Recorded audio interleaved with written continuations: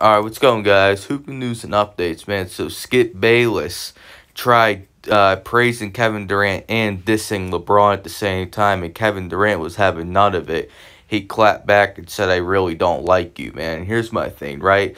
I think what Kevin Durant sees is what I see, man. I think Skip Bayless is trying to praise Kevin Durant and diss LeBron. So basically, he's using KD to uh, take a shot at LeBron, man. KD ain't having it, man. You know what I mean? I think if uh, Skip Bayless would have tweeted and just talked about KD and the way he played, I don't think KD would have responded. But the fact that he threw LeBron into the tweet, I think that's what made KD respond, man. And I agree with KD, man. You know what I mean? I think uh, Skip should have just praised KD and left LeBron out of it. But of course, uh, that's all Skip and Shan shows re resolved around is uh, LeBron. So I guess he had to throw him in there, man. So, what you guys think about this, man? Uh, Kevin Durant, you know I mean, basically checked Skip Bayless in a way. What you guys think, man? All right, peace.